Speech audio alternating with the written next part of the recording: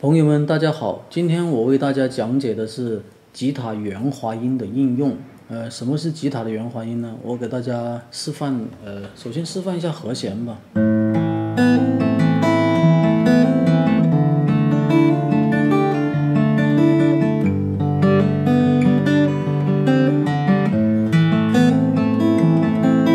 再示范一个 solo 吧，像呃蓝莲花。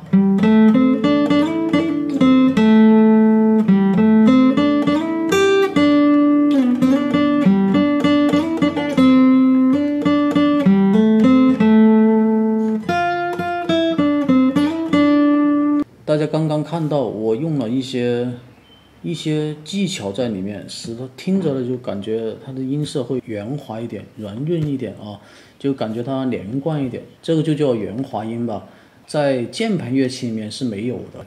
这些技巧对吉他的演奏是非常重要的啊，呃，也是这些弦乐器的魅力所在。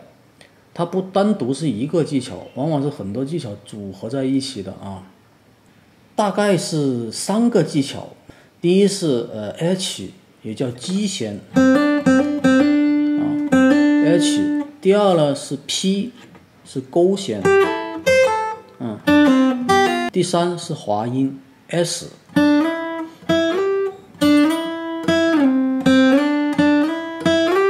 当然还有一些呃一些别的技巧，但是说在木吉他上不是特别常用。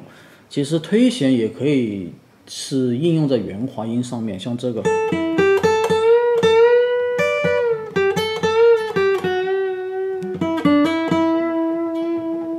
难度也很大，所以说我就不不重点介绍了，以后有时间再给大家说一下吧。啊，呃，我今天就给大家重点说一下这个 H 啊，H 这个技巧，击弦啊，也叫垂弦。呃，大家注意，只能用在音阶的上行。什么叫做上行呢？就是从低音到高音。我给大家示范一次啊，比如说你这个哆跟这个瑞啊，我先弹哆，再弹瑞啊，这是没用技巧的啊，就是只要这样直接弹啊，用了击弦技巧以后，听着就是这种声音，是吧？只只用弹一下，这个哆弹了哆了以后，这个瑞用这个无名指打上去，击上去啊，也可以说是锤上去，或者是瑞到咪，啊，呃，就是锤的这个音呢，比原先的那个音要高啊，这就叫上行，只能用在上行上面。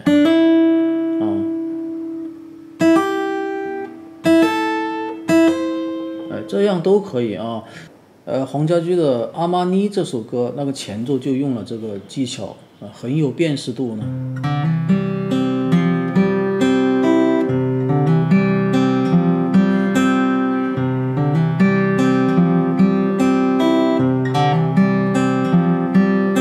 啊，如果我不不用这个技巧的话，听着会很生硬。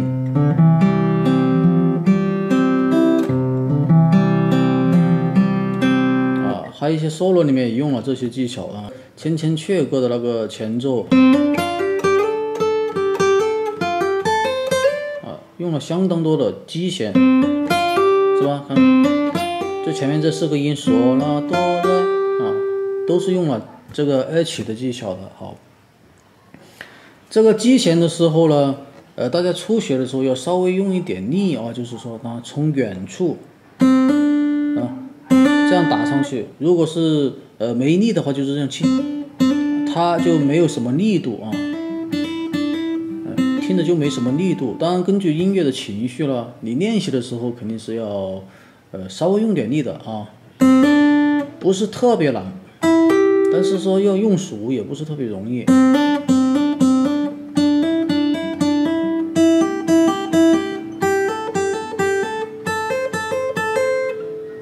信大家一般都爬过格子吧？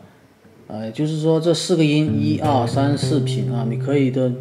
原来就爬的时候呢，就是这样弹，一二三四是吧？你可以就，嗯，你可以就先弹一个音，后面三个音全部用这个技巧打出来。开始可能会有一定的难度，慢慢来。听到没有？这四个音都是打出来的。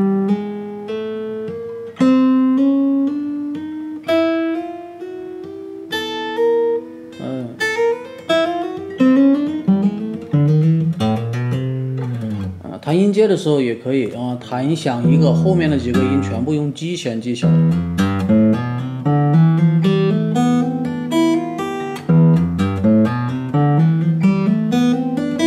这个练习呢，不是那么容易啊！大家开始弹的时候就慢慢来，不要急，它毕竟需要时间呃慢慢的累积。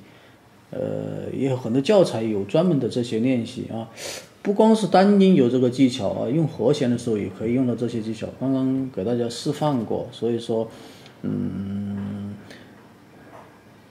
有机会尽量学会这些技巧吧，就是对自己的弹奏就是非常有帮助的。好的，谢谢大家。